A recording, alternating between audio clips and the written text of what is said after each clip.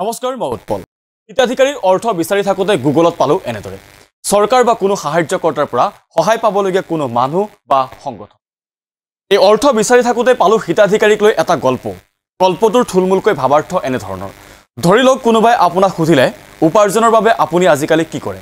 বা আপোনাৰ দেউতাৰা বা মাৰাই কি কৰে? এই প্ৰশ্নৰ সন্মুখীন হ'লে এতিয়া আৰু আপুনি মূৰ ঘমাবলগীয়া নাই। আপুনি এতিয়া গৰ্বেৰে ক'ব পাৰিব যে অৰুণোদয় স্বয়ং কৃষক মাজনী মামনি সকলোবোৰ আঁচনিৰে সুবিধা লৈ বহি আছোঁ। যিকেইটা পাৰি নিজৰ নামত কৰিছোঁ বাকীবোৰত মা দেউতা ভণ্টি দাদা সকলোৰে নাম ভৰাই থৈছোঁ। ইফালে জব কাৰ্ড এনৰেগা আমাৰ ঘৰ দমকল এইবিলাকতো আছেই। মুঠতে আমাৰ চৰকাৰ থকালৈকে কোনো টেনশ্যন নাই। কেৱল খোৱা শোৱা আৰু আড্ডা মৰা। কাইলৈ আপুনি যেতিয়া বিয়া পাতিব ল'ৰা ছোৱালীও হ'ব তেতিয়া তেওঁলোকক কোনোবাই দেউতাৰাই বা মাৰাই কি কৰে বুলি সুধিব তেতিয়া সিহঁতৰ হাতত উত্তৰ স্পষ্ট হিতাধিকাৰী। এই গল্পটো তুলি ধৰাৰ নেপথ্যত আছে মুখ্যমন্ত্ৰী হিমন্ত বিশ্ব শৰ্মাৰ এক বিশেষ বক্তব্য।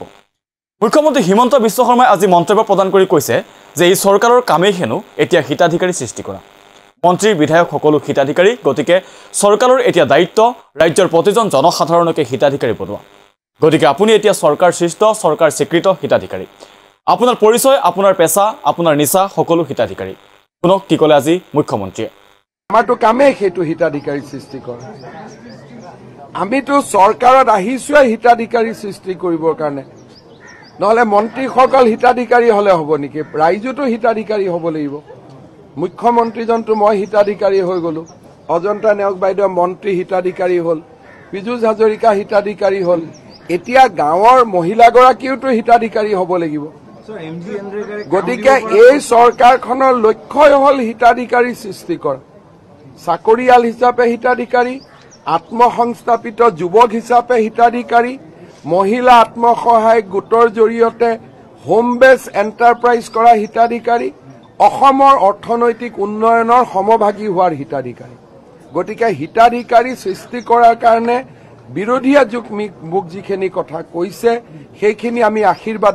দৰিদ্ৰতা কেনে দৰিদ্ৰতা নিৰ্মূল এইকাৰণেই হ'ল যে বাইশ লাখৰ পৰা নিবনুৱা যুৱকৰ সংখ্যা বাৰ লাখ ষাঠি হাজাৰ কমি আহিলে ইয়াতকৈ দৰিদ্ৰতা নিৰ্মূলকৰণৰ ডাঙৰ উদাহৰণ আৰু কি হ'ব পাৰে?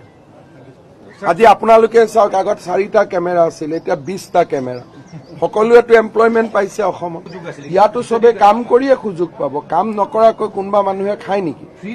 এইবিলাক এইবিলাক খুব অসমীয়া মানুহৰ প্ৰতি ইমান বেয়া কথা যে ব্যৱহাৰ কৰিব পাৰে সেইটো অকল বিৰোধীয়ে পাৰে। চৰকাৰে চৈধ্যশ টকা দিলে কি মানুহজনে আৰু কাম নকৰিব নেকি? চৈধ্যশ টকাতে ফ্ৰী খাই বহি থাকিব পাৰে নেকি মানুহজন? এনেকুৱা অদ্ভুত যুক্তি মোৰ আগততো নকয় আপোনালোকৰ আগত কিয় কয় মই নাজানো। কিন্তু মনত ৰাখিব অসমীয়াত এষাৰ কথা আছে। বিনা কষ্টে খাবলৈ পোৱাজনে গম নাপায় জুহালৰ ধোৱাই কিমান চকু পুৰে।